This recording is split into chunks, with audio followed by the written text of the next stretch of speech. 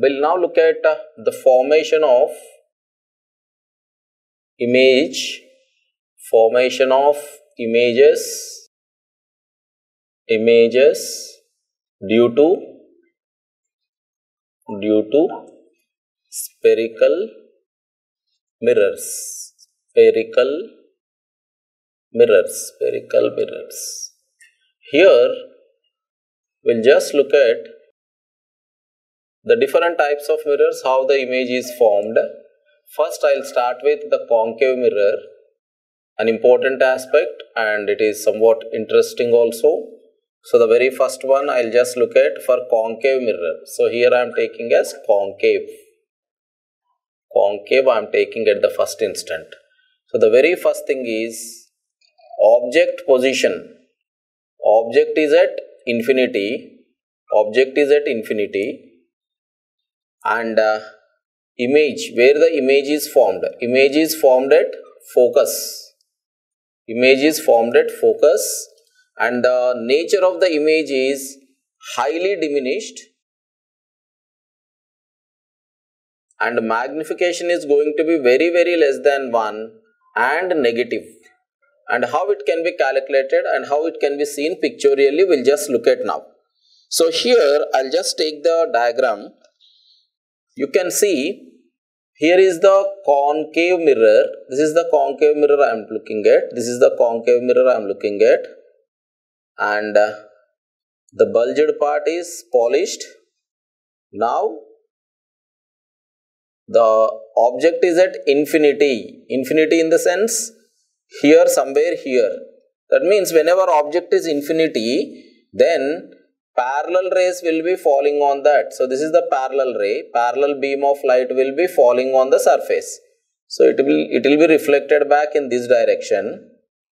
Similarly whenever you consider the ray over here it will be reflected back in this direction. So this is these are the reflected rays. These are the incident rays. And similarly when you look at another one also if you take another parallel beam also that will be reflected like this if you take another beam it will be reflected like this. So here the image is formed.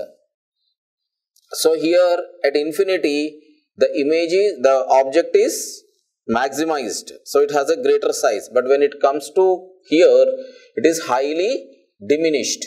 And one more thing is the image formed is real.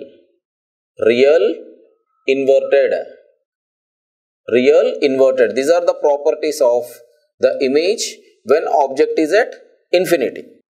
Similarly you can think of the second case as you are moving towards the center of curvature. Second case we look at object is at object is at beyond c. Beyond c. Beyond the position of c. Now image is formed so where the image is going to form? Between c and f.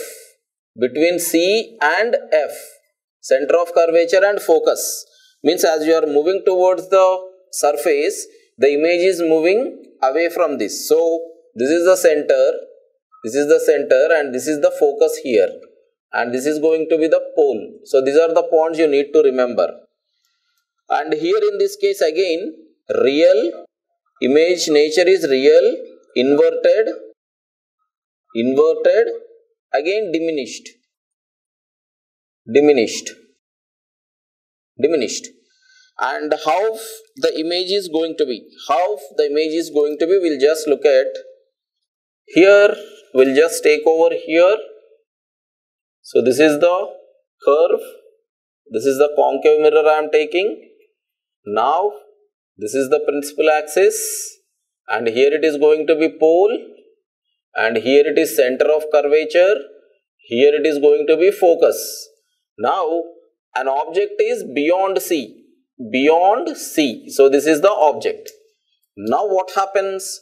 Whatever the parallel ray coming to the surface will be passing through the focus and whatever the ray which is falling onto the pole is reflected with the same angle and uh, this is how it will get reflected. And this is how it will get reflected. And now whatever the ray falling passing through the center will be going undeviated. So these three rays are meeting at a point over here. So that is between c and f. That is what we have written. Image is formed between c and f. So this is ab and the image is a dash b dash. So height of the image a dash b dash is less than height of the object that is AB. Therefore, magnification is going to be less than 1 and negative because image is formed onto the negative y-axis.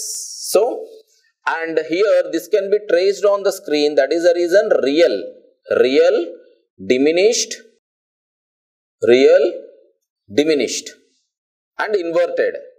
See here AB is vertical whereas this is reverse. So inverted. This is the nature of the image. In case of object is beyond c the image is found between c and f. So this is how you can draw the various ray diagrams for different positions of the object. Next case we look at about the center. If at all ab is placed at the center how it is going to be? That we'll see